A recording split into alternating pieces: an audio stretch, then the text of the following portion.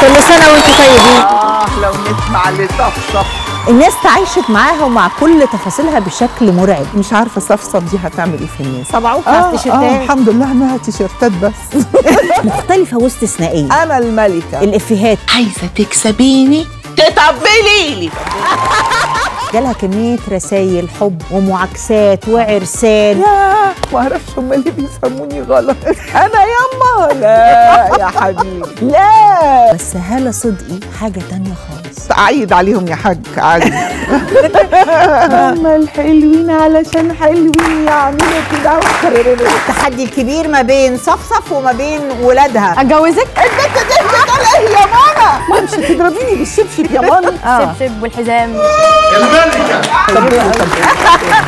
كان في حكاية كده خلصنا ما اتكتبتش في الجرايد حطيت في ورطة. كان بتفكر في الاعتزال. ابتلاء.